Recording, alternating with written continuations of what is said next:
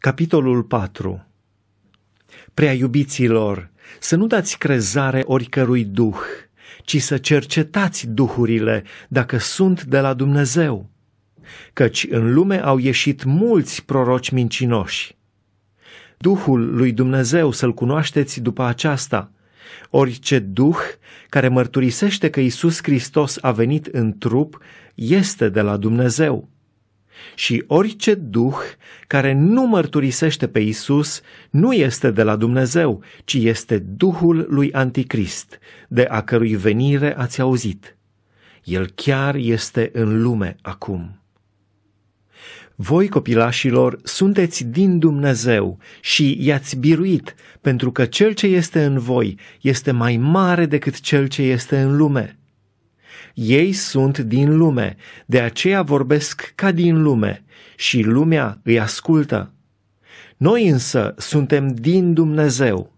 Cine cunoaște pe Dumnezeu ne ascultă. Cine nu este din Dumnezeu nu ne ascultă. Prin aceasta cunoaștem Duhul adevărului și Duhul rătăcirii. Prea iubiților, să ne iubim unii pe alții, căci dragostea este de la Dumnezeu. Și oricine iubește este născut din Dumnezeu și cunoaște pe Dumnezeu. Cine nu iubește n-a cunoscut pe Dumnezeu, pentru că Dumnezeu este dragoste. Dragostea lui Dumnezeu față de noi s-a arătat prin faptul că Dumnezeu a trimis în lume pe singurul său fiu, ca noi să trăim prin el. Și dragostea stă nu în faptul că noi am iubit pe Dumnezeu, ci în faptul că El ne-a iubit pe noi și a trimis pe Fiul Său ca jertfă de ispășire pentru păcatele noastre.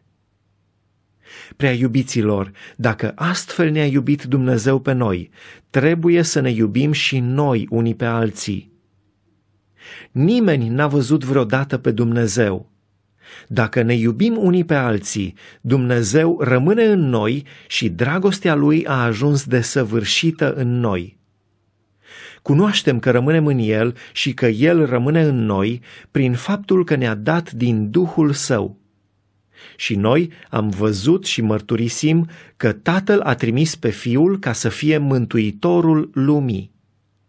Cine va mărturisi că Isus este Fiul lui Dumnezeu, Dumnezeu rămâne în el și el în Dumnezeu.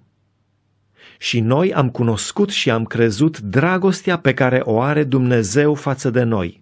Dumnezeu este dragoste și cine rămâne în dragoste rămâne în Dumnezeu și Dumnezeu rămâne în el. Cum este el, așa suntem și noi în lumea aceasta. Astfel se face că dragostea este desăvârșită în noi pentru ca să avem de plină încredere în ziua judecății. În dragoste nu este frică, ci dragostea desăvârșită izgonește frica, pentru că frica are cu ea pedeapsa și cine se teme n-a ajuns de săvârșit în dragoste.